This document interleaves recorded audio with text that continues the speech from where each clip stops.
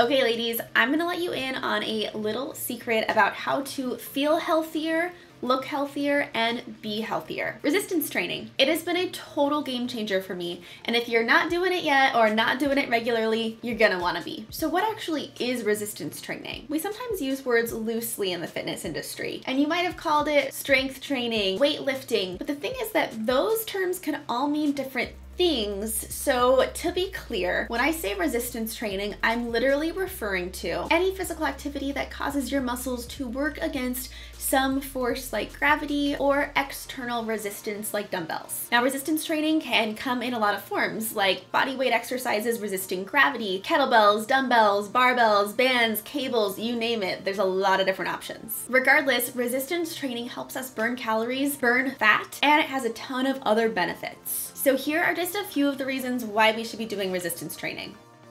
It gives us healthier bones and joints. It increases our resting metabolic rate or how many calories we are burning at rest even when we're not exercising. Um, this is like a key to keeping your body fat down. It increases our bone mineral density and our muscle mass. We feel more energized. We have reduced fatigue. This one I'm especially grateful for, reduced anxiety and improved body image. I have to say I feel so much more confident in my own body and so much more appreciative because I feel strong from resistance training. I love being able to like load load up the groceries on both sides of my arms and do that without any help. And I love being able to lift some of my furniture, not all of my furniture by myself, but some of it by myself without needing help from a guy.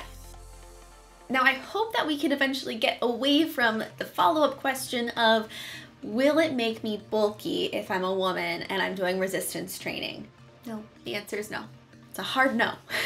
it's not. It's not gonna make you bulky. That is a lie that we have been told, and I think it's really prevented so many women from reaping the benefits of resistance training. The reason why we see men bulk up is because of testosterone. And although we as women produce it, we don't produce as much. So women having less testosterone get our gains, if you will, from resistance training from a hormone called somatotropin. Somato somatotropin? If you've ever heard of growth hormone, that's it. But I feel like growth hormone still has kind of a negative connotation because it sounds bulky. So call it what you will, somatotropin or growth hormone. It helps us build muscle. It helps with fat metabolism. It helps us grow cartilage, super important. It enhances immune function and a lot of other things too. So if we're looking at all of that, resistance training isn't gonna make us bulky. It's going to help us to burn fat. I hope I've convinced you.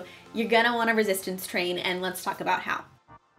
My clients know that I advocate for resistance training and we do resistance training in a lot of different ways. But if you are just starting out with resistance training, here are some basic tips. First, start with body weight and band exercises that you can safely learn form while you're building your mind body connection. Literally, your brain needs to be able to tell your muscles what to do. And it's gonna feel weird at first. Any new movement pattern might feel super awkward. That's okay. Keep going. You will learn it over time and it'll become a piece of cake. Once you feel comfortable with those movements, you can start to add other weights like dumbbells. I recommend performing between 12 and 15 repetitions per exercise and doing two sets or two rounds of each exercise. You might feel a lot of fatigue in your muscles when you first start. So one way to get around that is to alternate between upper and lower body exercises, literally within the same session. That way when your lower body is working, your upper body is resting and vice versa. That burning sensation that you're gonna feel, that's totally normal. You can keep exercising through that. That being said, if you have a sharp pain or just something feels